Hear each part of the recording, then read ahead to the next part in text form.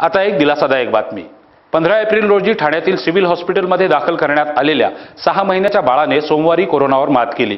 प्रत्यक्षात अर्णव नावाच्या या मुलाच्या आईचे रिपोर्ट्स निगेटिव्ह आलेले असताना अर्णवचे रिपोर्ट्स पॉझिटिव्ह कसे आले असा प्रश्न सध्या सर्वत्र विचारला जातोय. काय आहे बातमी? पाहूयात. ठाण्यात सोमवारी एका सहा महिन्याच्या मुलाने कोरोनावर मात केली आहे.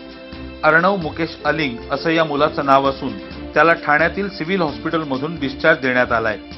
चौदा एप्रिल रोजी ठाण्यात राहणाऱ्या अर्णव आणि त्याच्या आईची कोरोना चाचणी घेण्यात आली होती. त्यात अर्णवच्या आईची चाचणी निगेटिव्ह निघाली होती. मात्र अर्णवची चाचणी पॉझिटिव्ह आली होती. त्यामुळे त्याला ठाण्यातील सिव्हिल हॉस्पिटलमध्ये दाखल करण्यात आलं.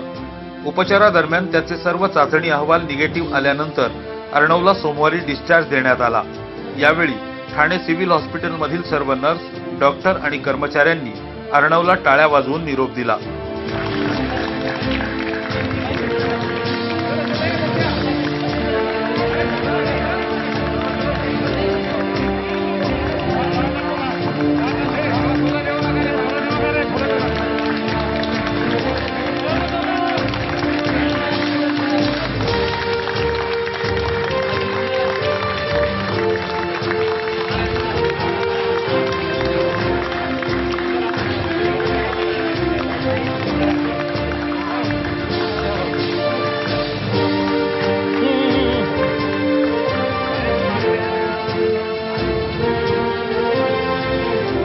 दरम्यान अर्णवच्या आईची चाचणी निगेटिव्ह आली असताना अर्णवची चाचणी पॉझिटिव्ह कशी आली हा प्रश्न अजूनही अनुत्तरित आहे.